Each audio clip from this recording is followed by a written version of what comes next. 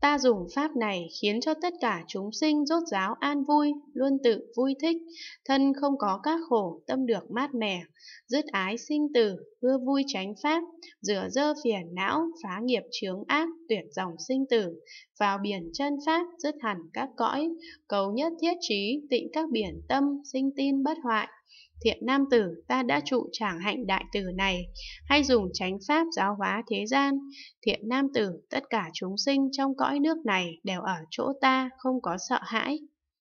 Thiện nam tử, nếu có chúng sinh bần cùng khốn khổ thiếu thốn đến chỗ của ta mà có sự mong cầu, thì ta mở kho tàng tùy ý họ lấy mà bảo họ rằng đừng làm các điều ác, đừng hại chúng sinh, đừng khởi các kiến, đừng sinh chấp trước. Các ngươi nghèo thiếu, nếu mong cầu gì hãy đến chỗ ta và ngã tư đường. Tất cả các đồ vật đủ thứ đầy đủ, tùy ý mà lấy, chớ sinh hoài nghi.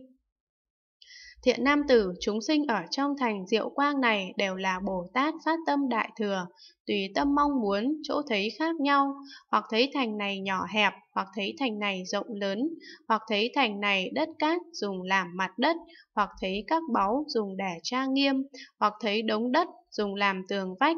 hoặc thấy tường báu bao bọc chung quanh, hoặc thấy đất đai rất nhiều ngói đá, cao thấp chẳng bằng phẳng, hoặc thấy vô lượng đại mani báu xen lẫn tra nghiêm, bằng phẳng như lòng bàn tay, hoặc thấy nhà cửa làm bằng đất gỗ, hoặc thấy điện đường và các lầu các thềm bực cửa nẻo lan can, tất cả như vậy đều là báu đẹp. Thiện nam tử, nếu có chúng sinh tâm thanh tịnh, thì đã từng trồng căn lành cúng dường chư Phật phát tâm hướng về đạo nhất thiết trí, dùng nhất thiết trí làm nơi rốt giáo. Và khi xưa lúc ta tu Bồ Tát hạnh đã được nhiếp thọ, họ sẽ thấy thành này các báu nghiêm tịnh, còn những người khác đều thấy dơ bẩn. Thiện nam tử, tất cả chúng sinh trong cõi nước này, vào đời ác năm trược, ưa thích làm các điều ác, tâm ta thương xót họ, muốn cứu độ họ, nhập vào Bồ Tát Đại Từ làm đầu, tùy thuận môn tam muội thế gian. Khi nhập tam muội này, thì các chúng sinh đó hết thảy tâm sợ hãi, tâm não hại, tâm oán địch, tâm tranh luận, các tâm như vậy đều tự tiêu diệt. Tại sao? Vì nhập vào Bồ Tát Đại Từ làm đầu, tam muội thuận đời, pháp này như vậy.